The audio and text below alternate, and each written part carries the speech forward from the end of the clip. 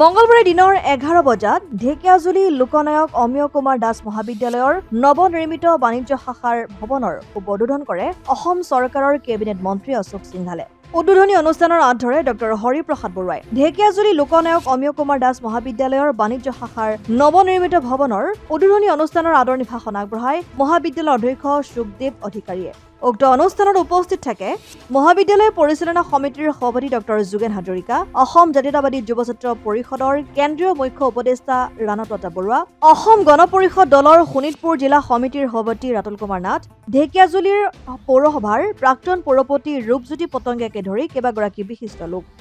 College nineteen ছেভেণ্টিত আৰম্ভ হোৱা কলেজত বাণিজ্য শাখাৰ এটা পাৰ্মানেণ্ট ঘৰ আমি আজি মুকলি কৰিলোঁ। ছাত্ৰ ছাত্ৰী উপকৃত হ'ব। লগতে মই শিক্ষাগুৰুসকলক আহ্বান জনাইছোঁ যে ভাল মানৱ সম্পদ গঢ় দিবলৈ আপোনালোকে সমৰ্পণৰ ভাৱেৰে শিক্ষাদান কৰক। আৰু আপুনি আজি ছাত্ৰ ছাত্ৰীক এটা ফেচবুক ৰিকুৱেষ্টৰ কথা ক'লে।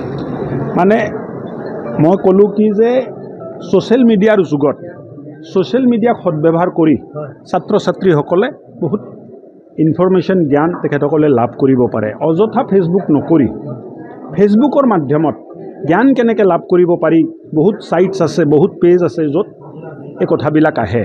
আৰু ময়ো মাহত এবাৰ ছাত্ৰ ছাত্ৰীক উদ্দেশ্যি ছেপ্টেম্বৰ মাহৰ পৰা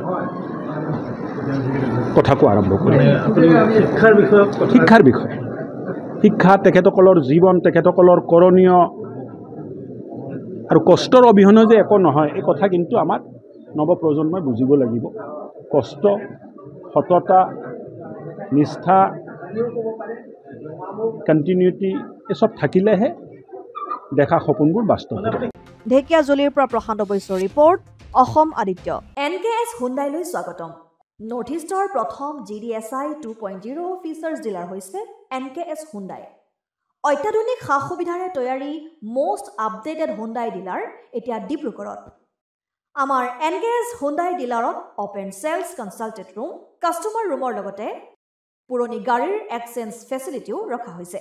ইয়াত চেলছৰ লগতে ছাৰ্ভিচ ছেক্টৰৰ সুন্দৰ সুবিধা আছে। প্ৰয়োজনীয় সকলো এডভান্স টুলছ হুইল বেলেঞ্চিং এলাইনমেণ্টৰ অত্যাধুনিক মেচিন পষ্ট হাইড্ৰলিক লিফ্ট ফুল্লি ট্ৰেইনমেণ্ট পাৱাৰৰ লগতে nitrogen gas filling facility fully automatic car ৱাছৰ ফেচিলিটিও আছে।